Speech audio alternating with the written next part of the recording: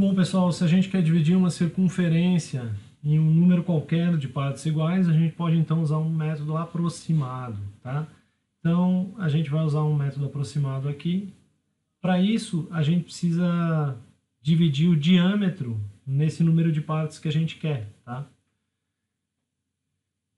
E para fazer a divisão do diâmetro, a gente vai acabar aprendendo, então, como dividir uma linha num número qualquer de partes, tá? Depois que a gente divide a linha, a gente vai transferir essa divisão dessa linha para a circunferência. E para isso a gente vai precisar de dois focos, tá? um de cada lado da circunferência. Então, primeiro vamos ver aqui, ó, vamos traçar esse diâmetro que a gente vai é, dividir no número de partes que a gente quer.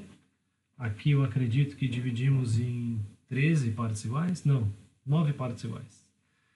Então, ali, ó, esse diâmetro, e aí com a abertura do diâmetro, e a ponta seca em um e no lado oposto do diâmetro, a gente vai traçar esse olho aí, né? Esse arco que vai marcar dois focos para a gente ali, tá? Um à esquerda e um à direita. Depois a gente vai usar esses pontos para distribuir. Como é que a gente divide então uma reta num número x de partes? Nesse caso aqui vamos dividir em nove partes iguais, tá? A gente vai traçar essa reta auxiliar e com uma abertura qualquer do compasso a gente vai traçar o número de segmentos que a gente quer. Então, nove segmentos iguais. E aí vai unir o último ponto marcado com o fim do nosso diâmetro. E aí, usando um par de esquadros, a gente vai traçar réguas, é, retas paralelas a essa primeira reta traçada. Marcando assim, né, dividindo assim o nosso diâmetro no número específico de partes, nesse caso, nove partes. Então, ponto A é igual ao zero, aí 1, 2, 3, 4, 5, 6, 7, 8, 9. Então, nove partes iguais, ok? E agora, eu vou unir, eu vou escolher ou os pontos pares ou os pontos ímpares. Aqui eu estou traçando os pontos pares, tá?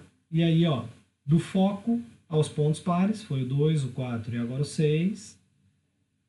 E o 8 eu vou levar até a circunferência e achar os pontos. E agora eu vou fazer, repetir o processo do outro lado.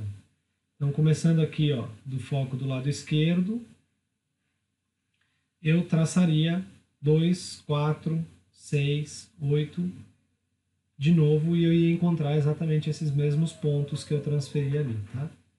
Então, ó, se eu botar o esquadro no 2, eu acho aquele ponto.